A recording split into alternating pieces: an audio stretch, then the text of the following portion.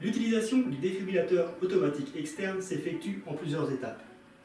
La première étant de le mettre en marche. Généralement, elle s'effectue quand on ouvre le boîtier de l'appareil, sinon on appuie sur le bouton marche arrêt. Ensuite, on va venir déluder la poitrine de la victime. Pour cela, on va soit couper avec un ciseau les vêtements, soit les retirer. Ensuite, on va prendre les électrodes. Elle se compose de deux électrodes reliées à une prise.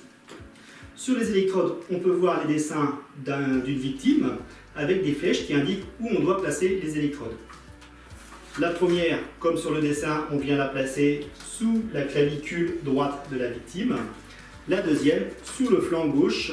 Pour cela, on vient mettre une main sous l'aisselle et on vient coller l'électrode en dessous. Il se peut que sous la clavicule, vous puissiez rencontrer plusieurs choses. Il peut y avoir un patch de médicaments. Hein, dans ce cas-là, on va venir l'enlever, essuyer, puis venir poser notre électrode.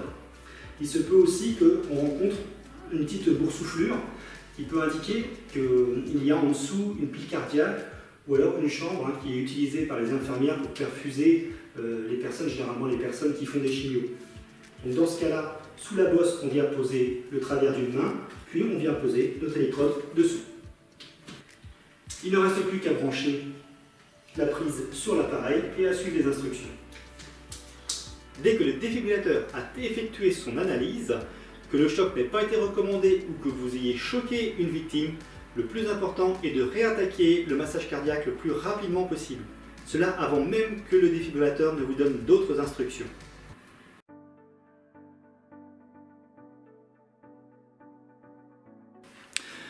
Pour le nourrisson, on va venir placer une électrode dans le dos entre les omoplates et une électrode au milieu du thorax.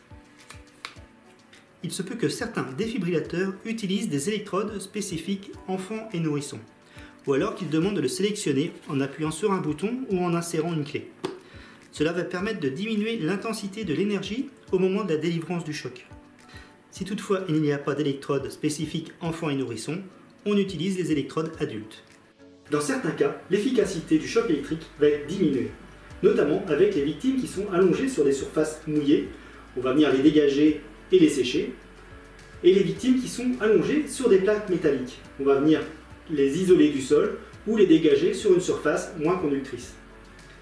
Le défibrillateur ne devra jamais être utilisé dans un espace qui contient des produits hautement inflammables. Dans ce cas, nous allons dégager la victime et une fois qu'on va être en lieu sûr, on pourra appliquer le protocole.